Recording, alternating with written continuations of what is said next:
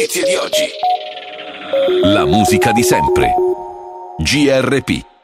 Giornale Radio Piemonte. Parliamo di teatro, riparte, inizia la seconda parte della stagione di Casa Fools e abbiamo al telefono la co-direttrice di Casa Fools, Roberta Calia. Ciao, benvenuta.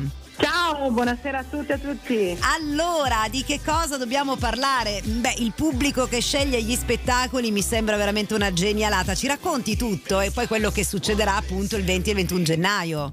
Sì, guarda, questa è una tradizione bellissima del nostro piccolo teatro che si chiama Casa Fulls Teatro Vanchiglia è ormai una tradizione qui da noi, è un gruppo di spettatori che decide insieme a noi quali sono gli spettacoli da programmare. Ecco. Abbiamo proprio deciso fin dall'inizio, fin da quando abbiamo aperto cinque anni fa, di mettere il teatro in mano alle persone, agli spettatori. E hanno fatto un lavoro bellissimo perché ne è uscita fuori una stagione incredibile che inizia proprio questo fine settimana. Cioè voi avete dato a queste persone eh, diciamo delle proposte, no? E loro hanno sì. scelto. Quanti anni hanno gli spettatori campione, diciamo?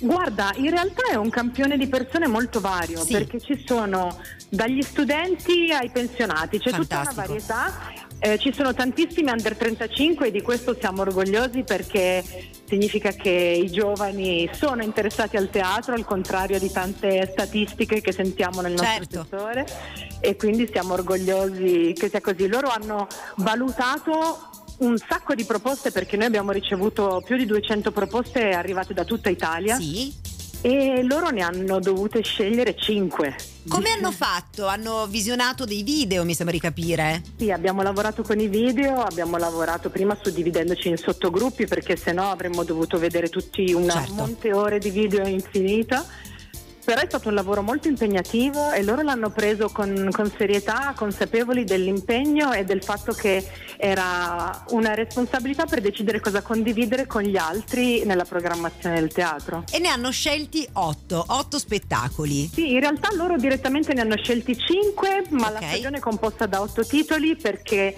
abbiamo il piacere di avere per la prima volta nel nostro teatro anche una produzione internazionale wow. che arriva dal Messico eh, un accompagnamento di una giovane compagnia di Torino che debutta grazie al fatto che viene a fare le prove nel nostro spazio sì. e poi un nostro spettacolo storico che torna sul palco per quest'anno. Oh, che, vera- che meraviglia! Invece, eh, insomma, questo poi per, per, chi volesse visionare il cartellone completo trova tutto sul sito, giusto? Tutte le informazioni ecco. sono sul nostro sito che è casafools, scritto F-O-O-L-S.it. Ok, invece il 20 e 21 gennaio cosa succede?